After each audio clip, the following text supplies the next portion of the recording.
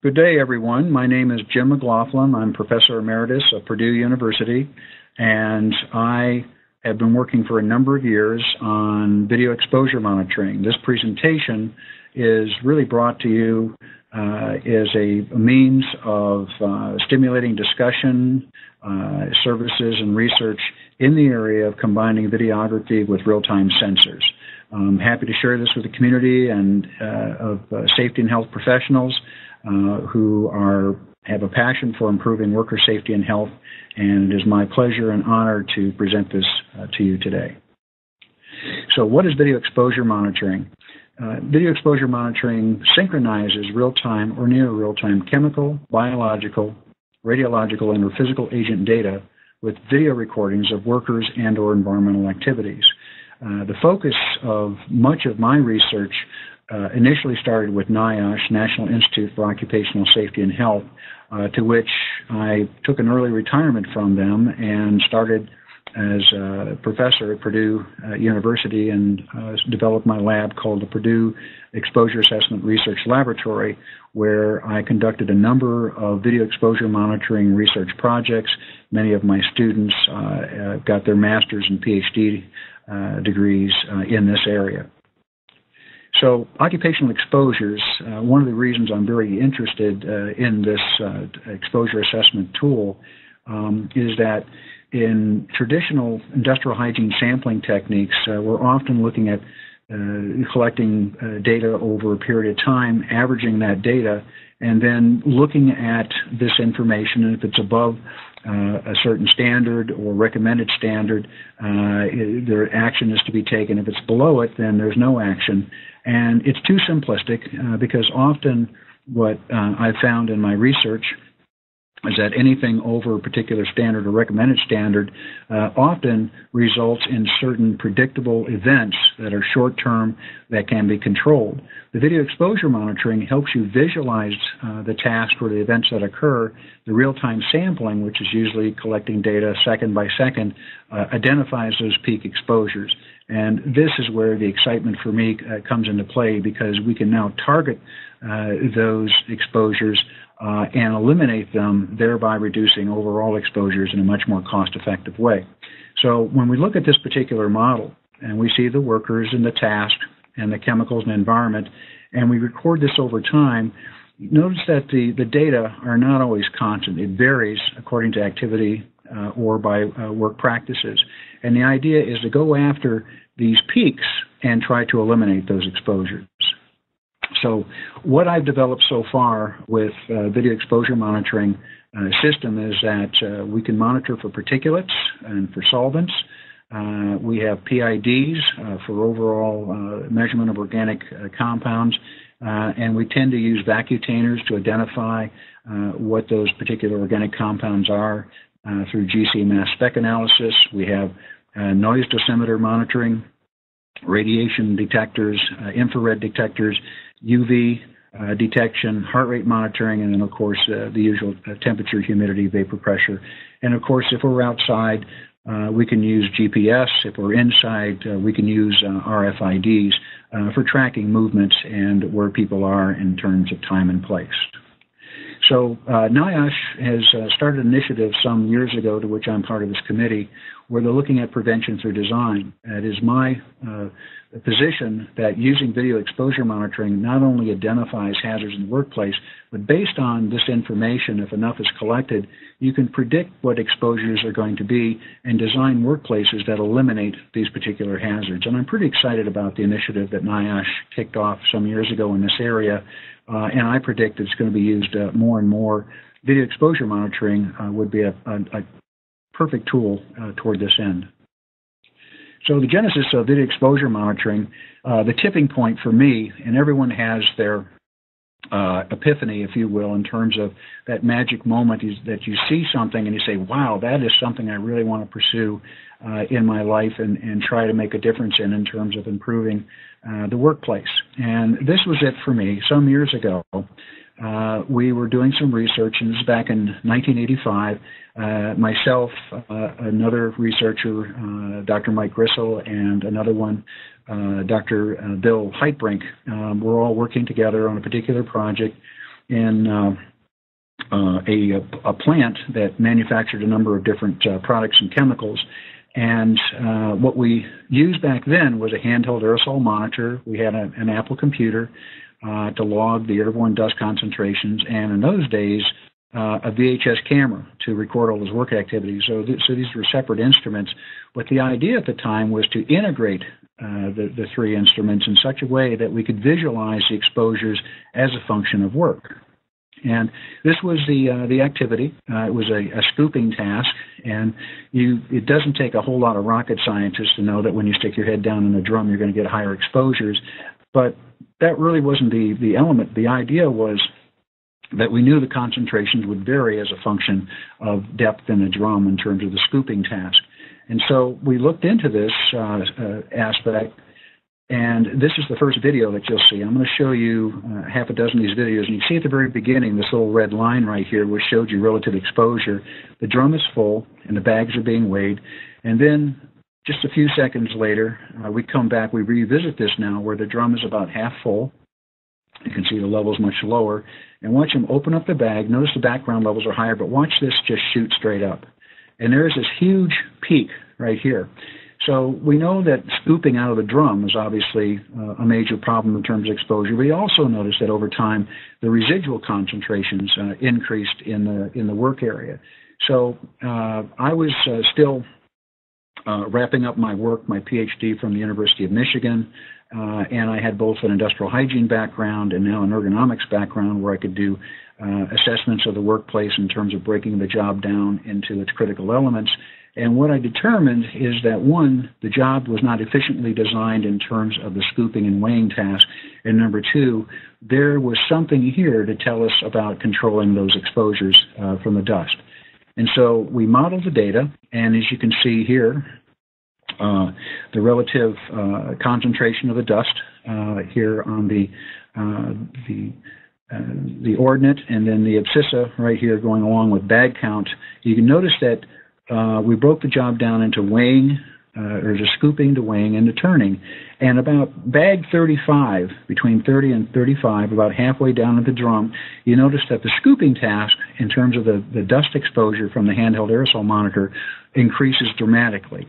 So what this presented to me in my epiphany was that, you know, geez, it looks like scooping about down to about halfway down the drum, levels of exposure are fairly well controlled, but after that, they get totally out of control. It also told me that the weighing task and the turning task were not as important as a scooping task, as you might uh, be able to, to do from observation, but the real time data gave us actually a tipping point, if you will, or a, an, an exact area of concentration of, in terms of how we would control these processes. So if you did time weighted average sampling, for example, your, your recommendations might be to increase the ventilation, uh, to clean out the ducts, to um, get a, a larger uh, fan, um, to uh, modify the work practices, any number of these things, because these are just generally understood control mechanisms by which you would apply an average exposure. What we did was we actually, based on this information, we simply cut the drum in half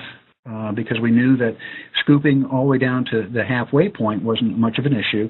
We lined it up in line with the weigh scale right next to it, and then the drum that received the, the bag that had been weighed was dropped here. So we went from about a minute and a half per bag down to about 40 seconds per bag, and we reduced the exposure by over 98%.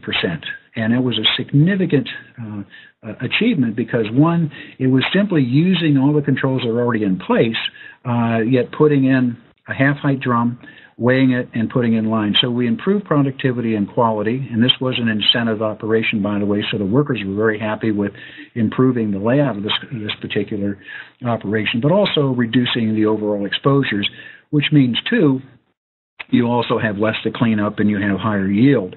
Uh, by the way, this uh, this slot exhaust system right here uh, was put in because of the bag dumping activities where we'd cut open a bag and, and pour in uh, the particular contents to be weighed out. And you may be asking yourself, well, why don't you use a screw conveyor or uh, some other uh, system by which you can bring this stuff in without handling it all? The, this particular um, facility was a job shop. One day it would be making cables for Trident submarines, and and, and that's what they really were doing. If you see uh, when the work was done in the 80s, or the next day they might be making wallpaper uh, for a, uh, a hotel. Uh, because it was a job shop, it was just easier to use different bags of material to do the mixing and the Banburys and so on. So this to me was the big tipping point where we could go from understanding where the problem start to occur uh, and then implement some very simple controls to not only improve productivity but to reduce exposures. And from that point, uh, we move forward and um, we're able to uh, make a number of, of, of uh, research projects while at Purdue University uh, to improve worker health, not only in the United States but around the world. So the next one uh, is is really a, a, fun project that we got involved with in Cappadocia, uh, Turkey. Um, it's a very exotic place. Uh, the big problem they have there is mesothelioma uh, from an erionite uh, that comes from the ground. It's in the soil. We also have a lot of erionite um, in the United States, uh, especially in the in the West, Wyoming's, Dakotas, and so on. And the idea was to determine where uh, the erionite uh, concentrations were greatest and why they were there was such a spike in the mesothelioma. Uh, my uh, working hypothesis was that with Turkey becoming a, a, under NATO um, after the, the Second World War, that they basically went from uh, animal uh, drawn plows and so on to tractors and things, and that agitated the soil a lot more, became airborne, and then we'd see this large cluster of uh, mesothelioma cases uh, throughout the villages. Uh, but again, that was just a working hypothesis. I was brought in uh, to use um, my skills to measure uh, the concentrations and the particle sizes to see if there was some predominant particle size that might be uh, the source of, of some of the, the, mesothelioma. So Cappadocia is right here, as you know. We know about uh, what causes uh, uh, the causes of mesothelioma in terms of uh, the agents, the, the type of asbestos, and so on. But what is the role of the erionite here? And uh, this is a, a, fibrous bundle, the erionite, and so is it, is it the bundle itself or is it individual fibrils that break off and so on? This was part of the research project. This is the exotic landscape that you can see here with the volcanic tuffs in the villages that surrounded these volcanic tuffs, and, and often people lived inside of these volcanic tuffs for, for centuries um, exotic place. So the villagers here mapping out epidemiologic maps of where people were sick or had died, and so on, and where the testing uh, uh, procedures were, were un- being undergone. In addition to that, we looked at the uh, relationship of, of, genetic predisposition to that between the males and females and the, the, the family trees and how that all played out. Uh, and so we were looking at genetic predisposition as well as uh, exposure profiles. We used a LASAIR 2 at the time. Uh, there are obviously more advanced models today, uh, but this measured uh, different sizes, uh, and this is what we had on site. And then this is me. Uh, this is, place was uh, thought to be haunted, and they wouldn't go down inside these caves, and I did. this is a flash. It was very dark in there when I was doing the study, and it was a little scary at the time, but basically agitating the, the surface, uh, you know, basically simulating work, if you will, to get airborne concentrations. We did it in the homes. We did it in the mosque. Uh, and these are the, the, the, prayer positions that you can see right here. One of the more interesting things that we found in the study uh, was that the concentrations were highest in the mosque, and a lot of the reason is that even though they uh, the, when when those uh, people come to prayer, Muslims come to prayer, um, they take off their shoes, but often they have cuffs uh, in their trousers. And when they would pray, the a lot of the sand and dirt from the soil outside would come out of the cuffs uh, in their trousers and onto the rug. So you could see where there would be an exposure uh, issue uh, with those coming to prayer. So uh, this is the output right here. And the, the short story is that we found basically this uh, 0.2 micron particle size uh, as being the predominant fiber size in most of the samples that we took. And again, our highest concentrations were found in the mosque. So uh, shifting gears, uh, going from looking at dust particles now to biomonitoring um, and looking at issues of, of cardiovascular um, challenges. Uh, one of the things that uh, we started working on uh, some time ago when I was with NIOSH was at the beverage delivery industry and trying to optimize the loads on beverage delivery trucks to reduce uh, cardiovascular load, reduce uh, fatigue, and so on, uh, and uh, resulted in um, OSHA working with Pepsi Cola at the time uh, to resolve some of these uh, these challenges, uh, and then it went across the board to Coca Cola and to others uh, to redesign these side load trucks uh, so that the workers would not experience higher risk for uh, back injury, shoulder injuries, and so on.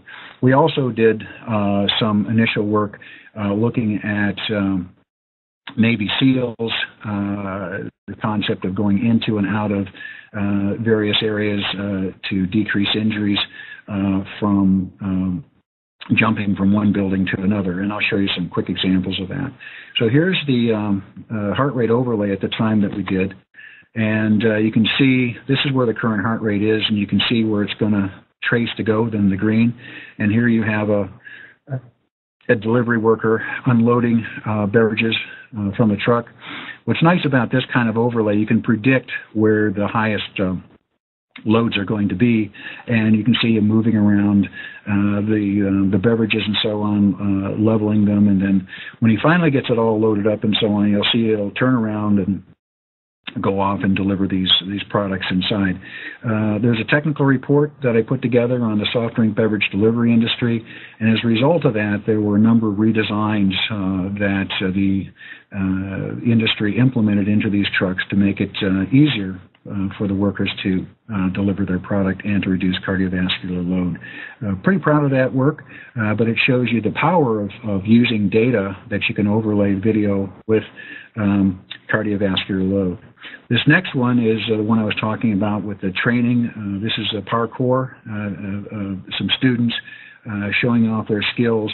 And the idea was a proof of concept uh, for video exposure monitoring to be able to look at not only cardiovascular load, but also infrared imaging. And the idea here is that where you see these lighter uh, patterns, these are heat patterns, and the idea would be to analyze these heat patterns along with a cardiovascular output uh, to look at how well um, uh, the, the soldiers, if you will, could uh, conduct this training in terms of jumping and landing, dissipating the energy, and so on. So let me click on this and um, show you what this looks like. So here we have we have two uh, uh, two uh, students doing this this work, showing that their their movement and moving around and, and their their skills.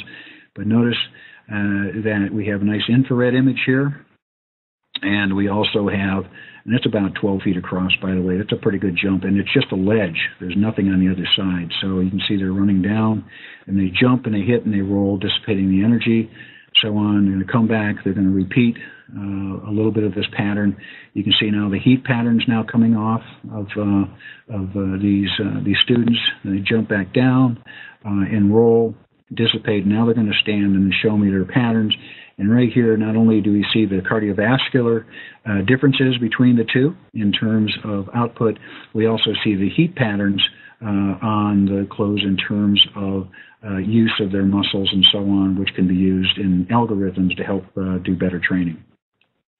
So, uh, physical infrastructure for those with disabilities, um, did a lot of that work while I was at Purdue.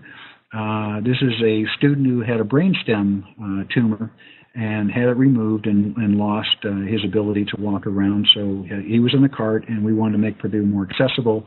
And what we did was we put a camera on this cart.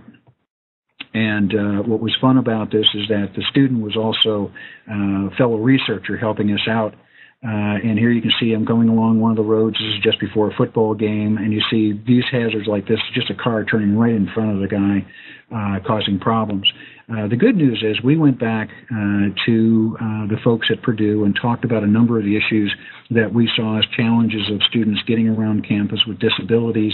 And to the letter, uh, they addressed every single one of these in terms of improving the size uh, and accessibility of the curbs and the, and the walkways and so on, uh, but also making it easier for students with disabilities to get around campus um, as a result of this technology. So, pretty proud of uh, of that kind of work in in terms of making uh, uh, Purdue, but many universities now accessible using this kind of work.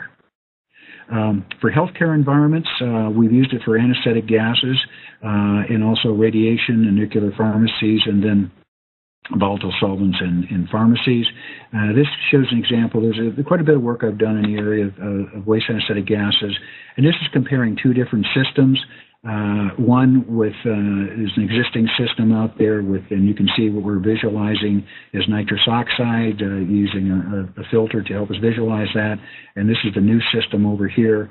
And the idea is to show where uh, the system that uh, is is uh, market available is is not performing as well as one that's just coming on the market, comparing and contrasting. And what I found is that if you show something like this on a Moran or Sapphire, saying, well, this is a concentration, they say, well, that's interesting. But when you can visualize it and say, well, where is this coming from?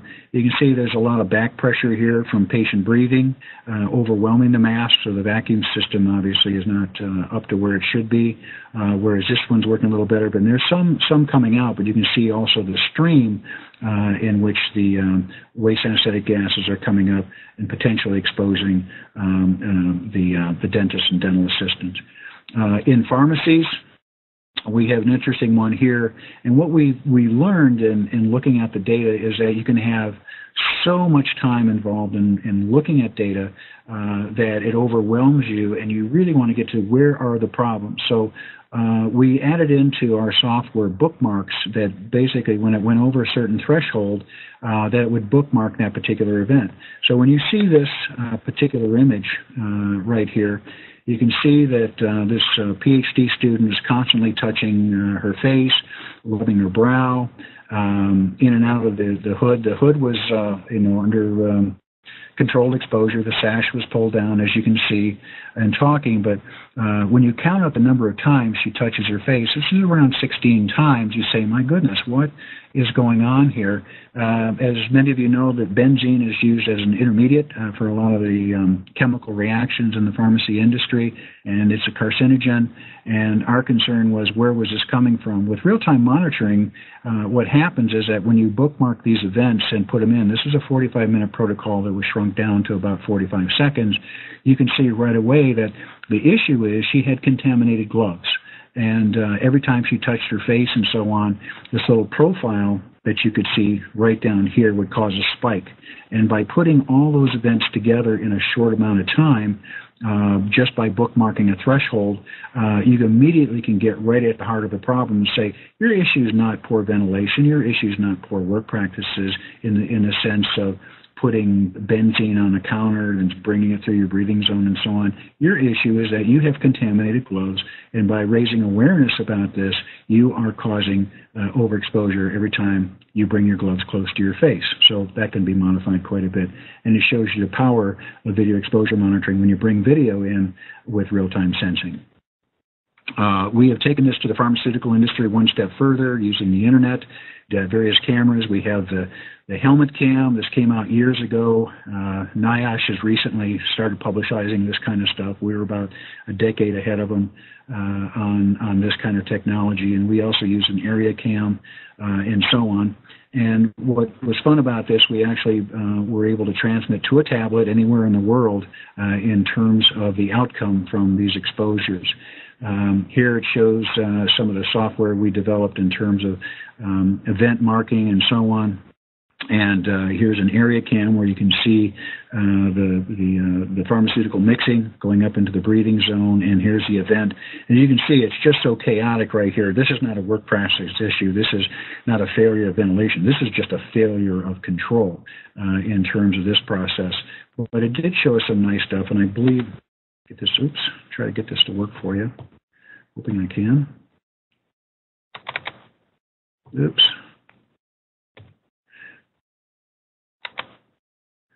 No. Well, um, anyways, the uh, maybe maybe this will work. There we go. Maybe this is it. No. Sorry about that. So uh, this shows a, a, mixing operation, and uh, it shows you in real time all the data coming through. This is uh, an area cam showing uh, what the, the, work process is, and this is the the, the area was is viewed from the the, uh, the helmet cam, uh, showing the actual worker uh, visualization of the process. So it's uh, quite handy in in helping us determine exposures. And of course, this thing is just a, a chaotic process. Uh, in, in radiation, uh, a lot of it's anthropometry. These are um, lead uh, shield, these are called L blocks. And look at my size versus my PhD student and her size. And part of the problem is is not only reach but visualization of this. Uh, and based on our work here, we were able to come back and be able to make this L block adjustable uh, to different size individuals uh, for better visualization. so and also for for reach in terms of um, uh, the uh, width of, of, the particular uh, L block. Uh, so uh, from that, then we took our show on the road to New Zealand, uh, and very happy to report to you that we actually changed the way an industry does business, the woodworking industry. We put them in a box. Um, another company tried to do this. The problem was um, you can't just build it and they will come. Uh, the idea is you build it and you take this to the customer and you show them the value of, of what it is to be able to collect this kind of data uh, and the outcomes from that data. So we put the whole system in, in a box and uh, we went to the woodworking industry, which is mostly uh, small operations. And you can see it uh, right here where the person is uh, cutting and so on. And, and uh, here we have two cameras set up, uh, giving us a profile of what the dust exposures are and so on, and evaluation of, of the various controls. And what was nice is that we could collect the data and get all that information, and we were able to get it down to about three different uh, machines, basically a routing machine, a CNC machine, and, and a sander. And uh, we made recommendations on what they could do uh, by decreasing the dust exposures in these these small uh, sort of family-run operations, 12 to 15 uh, people per operation. And what happened is that uh, while we were pretty excited about the findings and saying that 80% of your problems are related to um, uh, your uh, three or four of the machines uh, in here, we uh, were much more excited about the fact that uh, if they took took care of those and they could actually download uh, the instructions on what equipment uh, they would order in terms of fans and so on, they could actually make their own downdraft tables and so on. Um, but the truth of it is that after we we basically presented all this information uh, to the owners of these various companies, uh, they thought it was great. Uh, the problem was maintaining these instruments. But what was here was the key take-home point, which I got super excited about, and that is that what their work uh, routine was. They'd come in in the morning, they do all the cutting and so on. They'd go off to lunch, and they would come back after lunch and they would sweep and clean up and they couldn't do any of the lacquering or varnishing of, of the, the wood pieces because there was too much dust in the air. When we implemented the controls, we actually reduced those dust concentrations so much that when they came back after lunch, they could begin to lacquer and, and uh, put varathane and other coats of material on the wood to begin the next process, thereby doubling their productivity. Uh, in other words, they could do all the cutting and sanding, go for lunch, come back, and now do the second stage of the woodworking process, which is assembly into which they could wear uh, the various uh, liquid coats of, of, of, of paint and, and, lacquer and so on without having problems of, of bringing dust into the equation. When that was uh, shown to the owners of the uh, various uh, facilities uh, making these wood products, that was the game changer for uh, that entire country, to which now they not only implement those controls to reduce hazards uh, for the workers, they also have shown it to boost their productivity.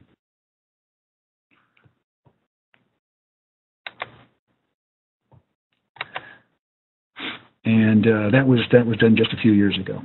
So indoor air quality, we did another one at the Eco Sciences Building in Brisbane, Australia. Uh, big problem here uh, uh, with indoor air uh, quality issues. The, the, the, major thing was that they turned off all of their uh, circulation about five, six o'clock in the evening, turned it back on at six in the morning, and the problem uh, came from certain areas where people were having uh, adverse reactions uh, to in, in various areas of this building uh, to what they did not know.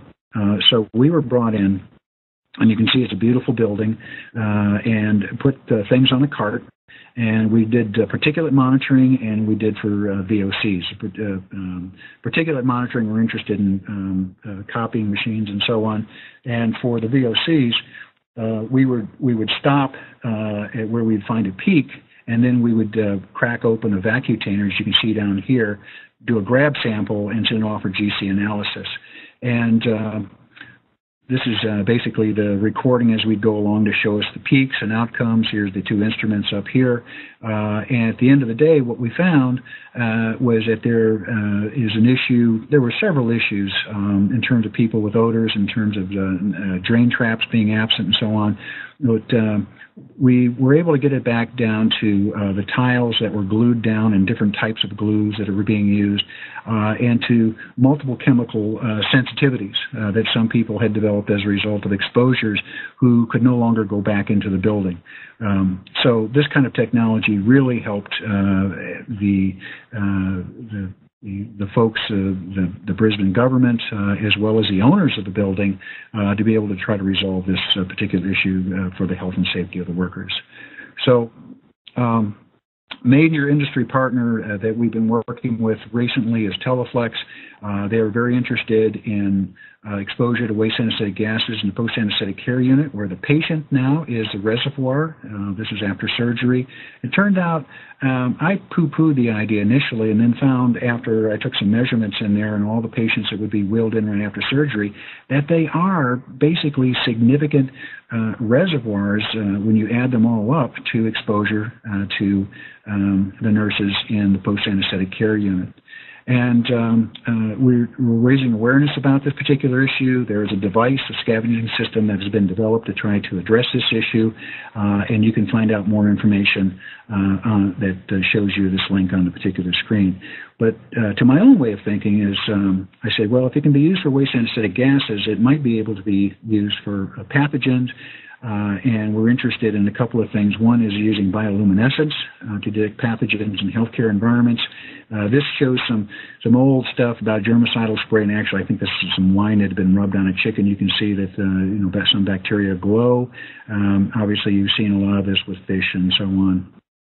And we've applied it in laboratory studies, uh, which we've uh, recently conducted, and uh, have found a tremendous amount using the bioluminescence about not only uh, where it goes uh, from the patient, but how it gets trapped into the scavenging system and how it may be used uh, as a, a, significant source of control for um, uh, controlling pathogens in, in healthcare facilities. So, where am I going with all of this? Uh, last couple slides here. Uh, I've always had this fantasy uh, about shrinking things down to something that you can wear on your wrist or something you can put in your pocket. Uh, the old tricorder from the original uh, Star Trek series. Um, I know that Star Wars has just come out, but the Star Trek series was was something something very impractical to me that said, uh, you know, is it safe after pushing a button? I certainly want to go in that direction. Uh, my vision is that uh, more and more smartphones uh, will be uh, those devices to capture video images. Um, sensors will be attached to those smart devices. Not only will tell you where you are and the time of day you're there, but give you automatically that video signal.